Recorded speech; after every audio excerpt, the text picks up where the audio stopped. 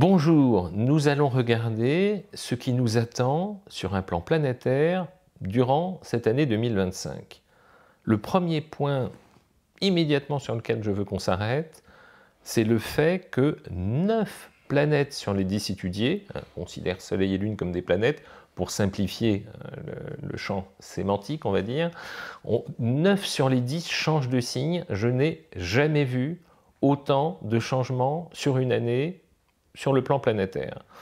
Alors, je vais vous faire un développé de ce qui se passe de façon globale et ensuite on rentrera un peu plus dans le détail. Alors globalement, les planètes sur lesquelles on s'appuie pour faire du pronostic en quelque sorte sont Pluton, les remises en question, Neptune, notre perméabilité à l'inconscient collectif, notre sensibilité, Uranus, notre part de singularité, de créativité et en général l'amorce de bouleversements, de changements, de modifications. Voilà, ça c'est Uranus, le novateur. J'ai ensuite Saturne, la sagesse, le temps. Puis Jupiter, les périodes d'expansion, de chance aussi, c'est intéressant, Jupiter toujours. Et puis on regarderait, je regarderai par la suite où est Mars, l'action, Vénus, les périodes durant lesquelles on a plus ou moins de facilité sur le plan relationnel, affectif, voire amoureux, et enfin Mercure qui est qui correspond aux périodes durant lesquelles on a plus de fluidité relationnelle, plus d'aptitude à être sur la même longueur d'onde, à s'entendre et à se comprendre. Voilà comment j'articule les prévisions que je fais pour cette année 2025. Alors, avant toute chose, regardons Pluton qui est la plus lente. Pluton, il s'est cette fois-ci installé dans le signe du Verseau, il a fait de nombreux allers-retours, vu qu'il est très lent, très lent. Hein. Il fait son tour en 250 ans. Et là, il s'est implanté en Verseau. Il y est pendant une bonne quinzaine d'années, donc il va falloir composer avec Pluton. Pluton qui rentre dans le Verseau, il va naviguer durant toute l'année 2025 sur une séquence très courte, encore une fois parce qu'il est très long, qui vont être du premier degré du Verseau jusqu'au troisième degré du Verseau. Vous voyez, c'est pas gros, hein, sur deux degrés sur un an. Pluton, qu'est-ce qu'il va engendrer comme impact? Il va euh, être carrément libérateur, carrément libérateur pour euh, tous ceux qui avaient des planètes en Capricorne, en Cancer, en Bélier et en Balance, qui étaient dans l'impact de Pluton, dans le champ de tension de Pluton. Parce que quand Pluton, qui depuis 2008 était en Capricorne, il formait, il était sur le dos de mes Capricornes, opposé à mes Cancers, c'est pas un cadeau, en opposition, et en carré, ce qui forme des aspects particulièrement aiguisés, voire euh, agressifs et tendus. Hein. Un carré, c'est jamais un cadeau, avec mes béliers et mes balances. On me tourne une page, et cette fois-ci, on n'y reviendra pas pendant les 15 ans qui viennent, Pluton est parti sur son cycle en verso. En revanche, en entrant en verso, il va commencer à solliciter mes versos, parce qu'il arrive chez vous, hein, bien évidemment, en opposition mélion. Il va falloir anticiper ce mécanisme-là. Et puis, sur ce qu'on appelle le jeu des carrés, des angles tendus, ah bah, il va commencer à titiller un petit peu mes taureaux et mes scorpions. Voilà. Ça, c'est le gros morceau de Pluton. Pluton, c'est celui qui engendre des métamorphoses foncières. En général, j'ai coutume de dire que lorsque Pluton passe quelque part, il commence par, entre guillemets, ratiboiser ce qui n'est pas solidement arrimé au sol, transformer ce qui nécessite euh, des réajustements, souvent ce sont des bouleversements, des transformations de vie, en général c'est assez dense parce qu'il reste très longtemps, et plus une planète reste longtemps, plus son influence s'exerce sur un temps long, c'est logique en fait. Donc voilà ce que ça engendre. En revanche, Pluton va se révéler éminemment productif, stimulant, mobilisant pour repartir sur des bonnes bases pour une partie d'entre nous.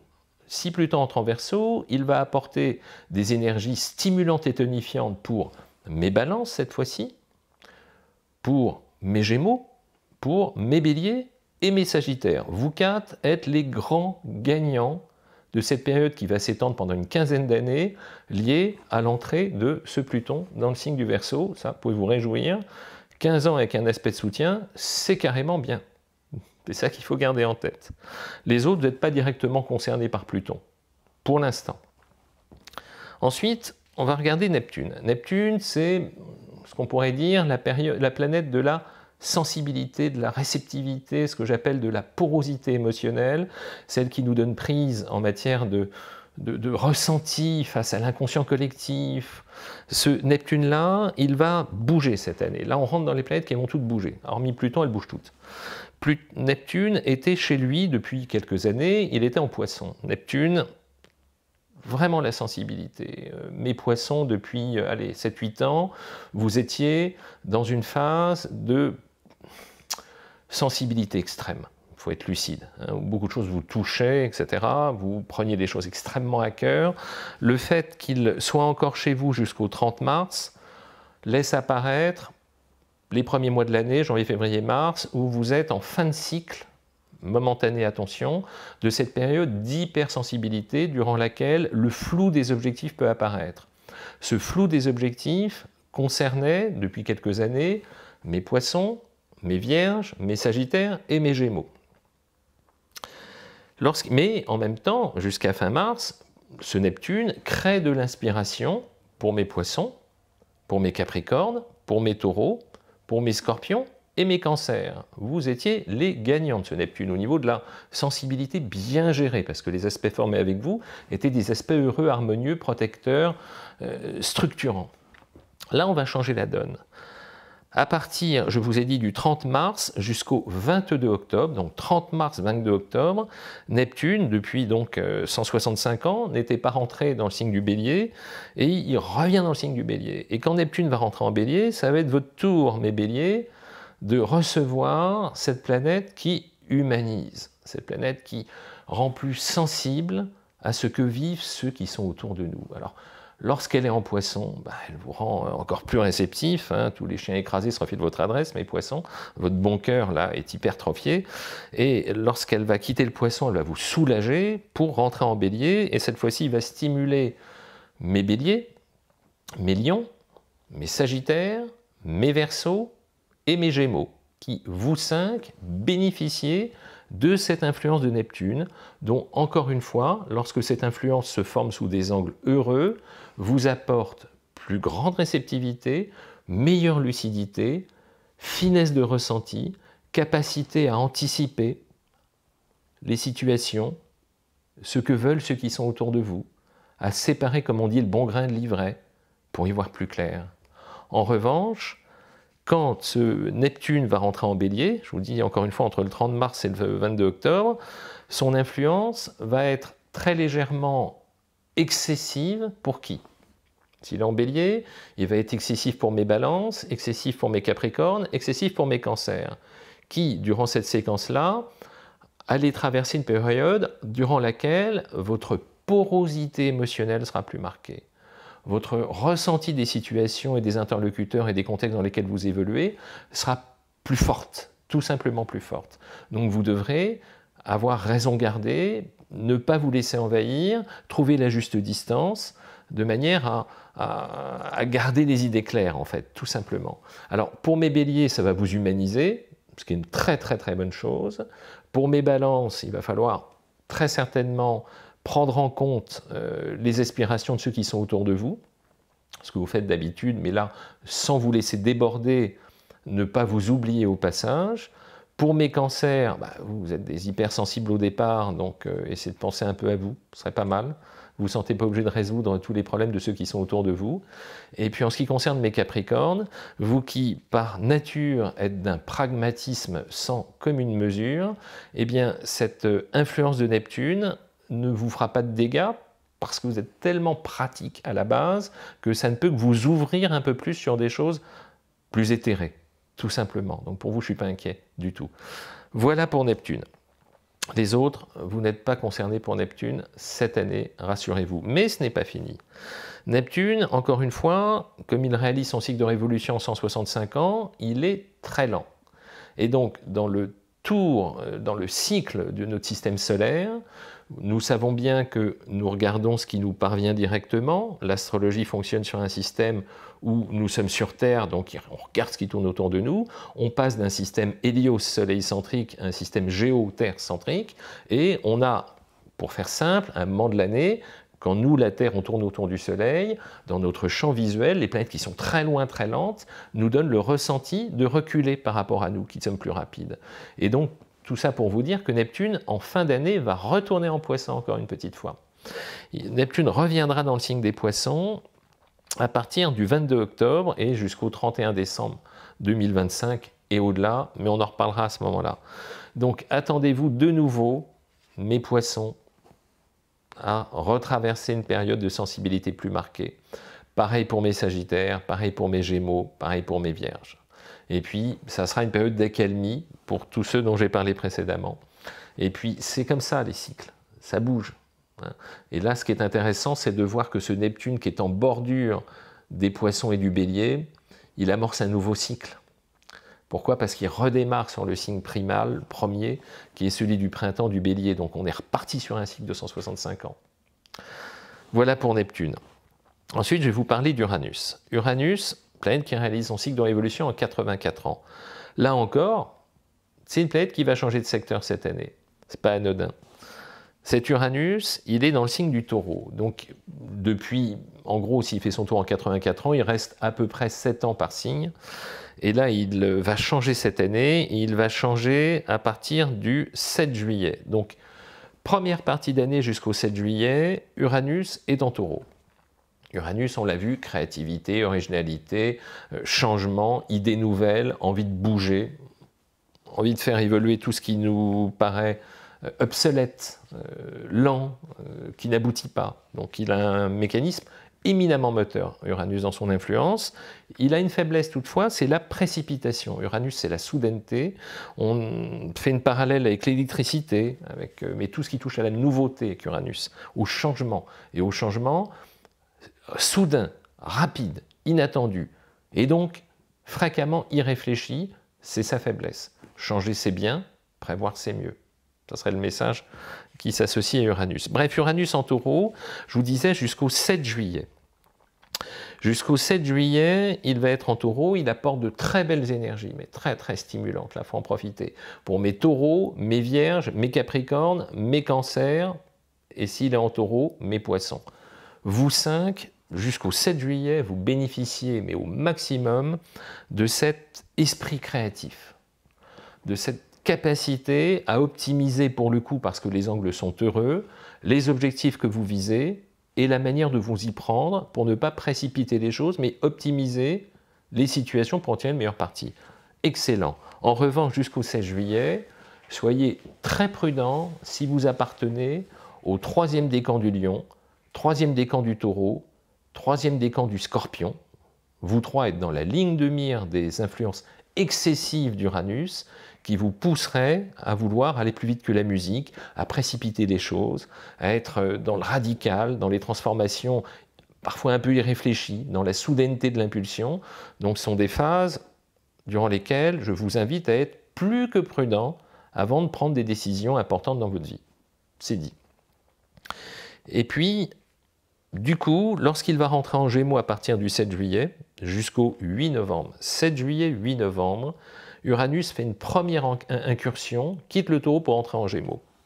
Durant cette période-là, donc je vous ai dit 7 juillet, 8 novembre, qu'est-ce qui va se passer? Uranus en Gémeaux, c'est un mécanisme qui s'associe bien, ça. Nouveauté, créativité avec ce signe de printemps, de curiosité, de, là aussi de recherche, d'originalité, de voir les choses sous des angles différents, de tenter des expériences, de, de déployer cette curiosité avec cette touche de nouveauté extrêmement dense, ça va apporter une période, encore une fois, je vous ai dit, du 7 juillet au 8 novembre, particulièrement tonique et très très productif pour mes Gémeaux, mes Verseaux, mes Balances, mes Béliers et mes lions. Vous cinq, cette période-là, elle est très heureuse pour effectivement amorcer de la nouveauté, quelle qu'en soit la forme. En revanche, quand Uranus va rentrer en Gémeaux, il va commencer à former des aspects excessifs avec mes premiers décans du Sagittaire, vous doutez bien, opposés, mes premiers décans de la Vierge et mes premiers décans des Poissons. Vous trois, faites très attention cette année, durant cette période-là en tout cas, 7 juillet, 8 novembre, à ne pas me chambarder, chambouler, euh, partir dans tous les sens et euh, transformer, casser, modifier, ce qui mériterait beaucoup plus de temps de gestation avant d'aboutir et de programmation par anticipation des incidents, ce que vous allez mettre en place, il faut prévoir en un mot. Soyez beaucoup plus prévoyant que vous ne l'avez jamais été pour ne pas céder à cette impulsion qui invite à la précipitation. Voilà pour vous. Et puis à partir du 8 novembre jusqu'en fin d'année, mais au-delà, mais je vous en reparlerai l'année prochaine, encore une fois, comme la planète est très lente, et via ce cycle de la Terre qui tourne autour du Soleil et les planètes lentes qui nous paraissent parfois revenir en marche arrière, ce qu'on appelle des marches rétrogrades, eh bien Uranus retournera dans le signe du taureau, et on fait bis avec ce que je disais tout au départ, il redynamise mes taureaux, mes vierges, mes capricornes, mes cancers et mes poissons. Et euh, il euh, ne concerne plus les autres dont je ne parlais pas jusqu'à présent. Euh, attention encore une fois Uranus, parce que quand il reviendra à la fin du taureau, il va restimuler, s'il y avait besoin, mes troisièmes décans taureau, scorpion, lion et verso, où là encore on a une dernière phase un petit peu sensible, mais je vous en parlerai surtout l'année prochaine. 2026, ça sera beaucoup plus marqué à ce moment-là, lors de son tout dernier passage. Voilà, on a vu Pluton, on a vu Neptune, on a vu euh, Uranus. Maintenant, je vais vous parler de Saturne. Saturne, comme tous les autres, va changer de signe cette année. Mais lui, il a un cycle où il fait son tour en 28-29 ans. Donc c'est plus fréquent, c'est tous les deux ans, six mois à peu près, deux ans, entre trois et six mois où il change de secteur. Il est en poisson. Il démarre l'année en poisson. Il va y rester jusqu'au 25 mai. Lorsque Saturne est en poisson, il stimule, c'est à double tranchant la présence de Saturne, je vais terminer par ça. Il est très productif pour ceux qui sont à 60 et 120 degrés, donc il apporte sagesse, recul, pondération, réflexion, et puis, on met à la trappe tout ce qui est lourd, tout ce qui aboutit pas. On fait du nettoyage, on fait de l'élagage avec Saturne. Saturne est la période de l'hiver. Donc, lorsqu'il passe quelque part, c'est comme les saisons. De toute façon, c'est calé sur le cycle des saisons, l'astrologie. Donc, il a, il a ce, imaginons euh, un arbre, c'est l'image la plus parlante. Lorsqu'on est au printemps, les feuilles se déploient, les fleurs, les saveurs, les fruits s'il y en a, les oiseaux, tout, la nature prend son expansion au printemps, elle rayonne au maximum de sa densité pendant l'été, elle euh, trouve un jeu d'équilibre avant de lâcher prise avec le scorpion, mourir pour renaître, elle traverse l'hiver, Saturne c'est la planète de l'hiver. Et quand on traverse l'hiver, il n'y a plus euh, sur cet arbre, il n'y a plus les fleurs, il n'y a plus les feuilles, il n'y a plus rien, il n'y a plus les fruits, il ne subsiste que là substantifique structure de l'arbre avec un petit peu de sève à minima pour survivre jusqu'au printemps. Saturne joue cette fonction-là d'élément pas plombant, mais ralentissant, fatigant, permettant de se dégager de tout ce qui est éphémère, de tout ce qui n'est pas indispensable, pour revenir à l'essentiel. Donc ça, sa structure d'épuration est éminemment salutaire pour ceux qui partent dans tous les sens, parce qu'elle recentre. Alors trop de Saturne est perçu comme un garde-fou rigide et un boulet au pied, un sac de plomb sur le dos, mais bien géré, Saturne est un exceptionnel élément structurant permettant de travailler l'endurance avec ce qui est fondamental et ne pas s'embarrasser de ce qui est inutile. C'est sa fonction. Donc lorsqu'il est en poisson, il me fatigue finalement. Mes poissons, mes vierges, mes sagittaires et mes gémeaux. Pourquoi? Parce qu'en conjonction, il est lourd, en opposition et en double carré, une plaie. Et on va terminer, en revanche, il est complètement consolidant pour mes capricornes, mes scorpions, mes cancers, et puis euh, bah, mes taureaux, hein, ceux qui sont dans les bons angles. À partir du 25 mai, il rentre en bélier lui aussi, comme Neptune. Et quand il va rentrer en bélier, il va y rester du 25 mai, du 26 mai jusqu'au 1er septembre. Lui aussi, il va naviguer entre deux signes, toujours la même histoire. Donc du 25 mai au 26, euh, du 25 mai au 1er septembre, Saturne va rentrer en bélier, il amorce un nouveau cycle d'une trentaine d'années lui aussi. En bélier, on change la donne. En bélier, attention, il va me fatiguer mes débuts bélier, premier décan, me fatiguer mes débuts balance, me fatiguer mes débuts cancer et mes débuts capricorne. En revanche, il va apporter sagesse, recul, vision du long terme pour qui? Pour mes débuts lion, mes débuts sagittaire, mes débuts verso et mes débuts Gémeaux. Quand je dis début, c'est toute la première décade, ce qu'on appelle le premier décan. Vous, cette période-là, très intéressante pour vous recentrer sur ce qui est important et vous délester avec beaucoup plus de facilité parce que l'angle est heureux de ce qui vous pèse, vous ralentit, vous freine depuis un bout de temps. Donc on a là une période intéressante à exploiter. Et puis à partir du, 2 septembre jusqu'au 31 décembre, ah, lui aussi, il aborde une marche rétrograde vue de la Terre, il retourne en poisson.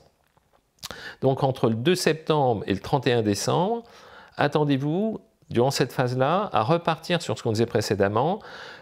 Fatigue pour mes euh, poissons, pour mes sagittaires, pour mes gémeaux, pour mes vierges, et puis soulagement pour tous les autres. Et de nouveau, il permet de consolider ce qui en avait besoin, surtout si vous appartenez au troisième décan Capricorne, troisième décan Cancer, troisième décan euh, Poisson, lui aussi, troisième décan Scorpion, et puis euh, troisième décan Taureau. Voilà pour Saturne. Allez, je vais vous parler de Jupiter. C'est nettement plus heureux quand on parle de Jupiter. Jupiter, c'est globalement l'optimisme, le positif, ce que j'appelle la planète de la chance.